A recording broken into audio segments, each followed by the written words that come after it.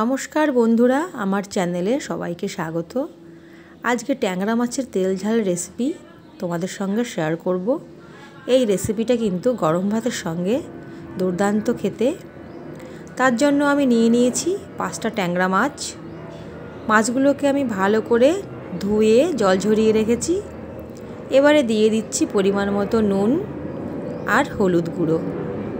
এবারে নুন আর হলুদ গুঁড়ো। ভালো করে মাছটার গায়ে মাখিয়ে নেব। এবারে দিয়ে দেব সামান্য কাঁচা তেল।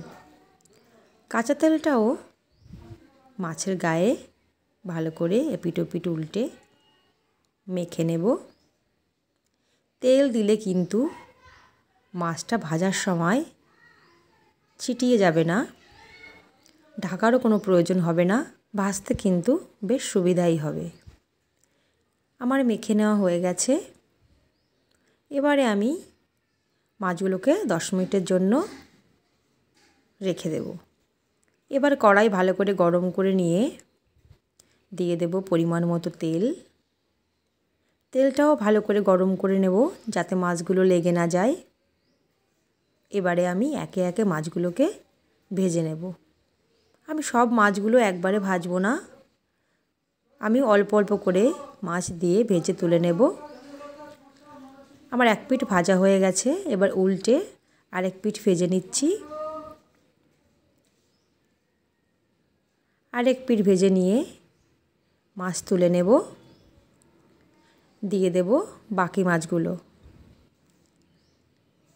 এভাবে আমি মিডিয়াম ফ্লেমে মাছগুলোকে ভেজে নিচ্ছি।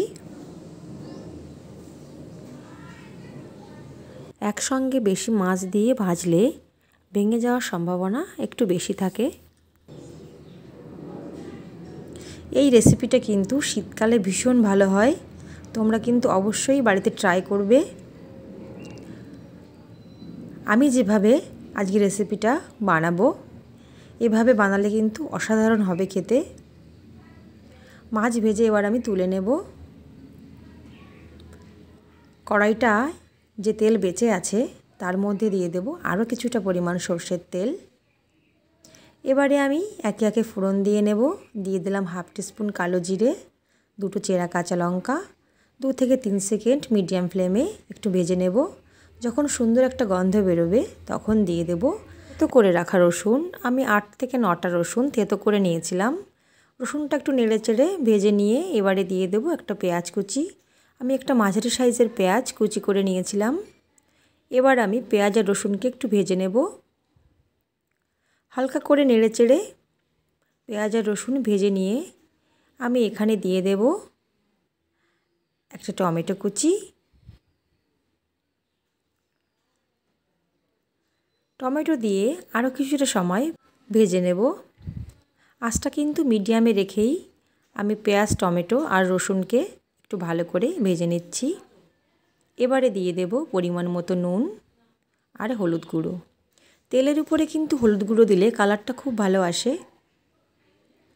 এবারে দিয়ে দেব ওয়ান টিস্পুন জিরে গুঁড়ো, হাফ টিস্পুন লঙ্কার গুঁড়ো, সামান্য জল।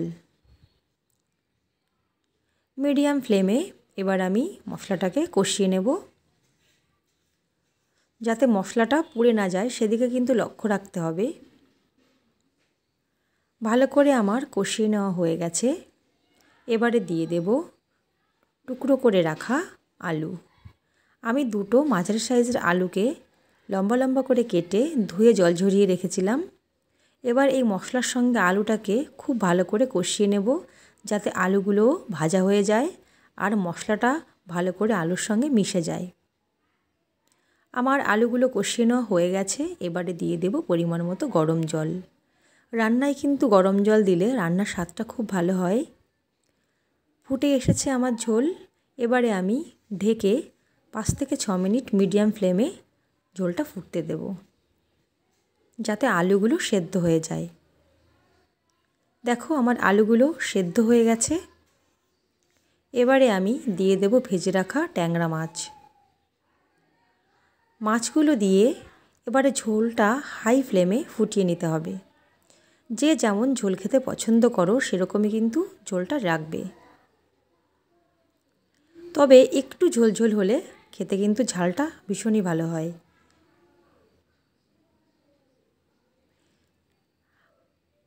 আমি পাঁচ মিনিট ফুটিয়ে নিয়েছি। এবারে দিয়ে দেব দুটো চেরা কাঁচা লঙ্কা আর সামান্য চিনি। চিনিটা দিলে ঝোলের স্বাদটা ব্যালেন্স হবে, খেতে কিন্তু খুব ভালো হবে। আর সবশেষে দিয়ে দেব ধনে পাতা কুচি। ধনে পাতা দিয়ে এবারে আমি ঝোলটাকে ঢেকে রাখব পাঁচ মিনিটের জন্য, যাতে ধনে পাতার সুন্দর গন্ধটা পুরো ঝোলের সঙ্গে মিশে যায়। তো বন্ধুরা, তোমরা অবশ্যই এই রেসিপিটা বাড়িতে ট্রাই করবে আর কমেন্ট করে জানাবে কেমন হয়েছে আজকের রেসিপি লাগলে চ্যানেলটা সাবস্ক্রাইব করে আমার পাশে থেকো আর তোমরা সকলে খুব ভালো থেকো, সুস্থ থেকো।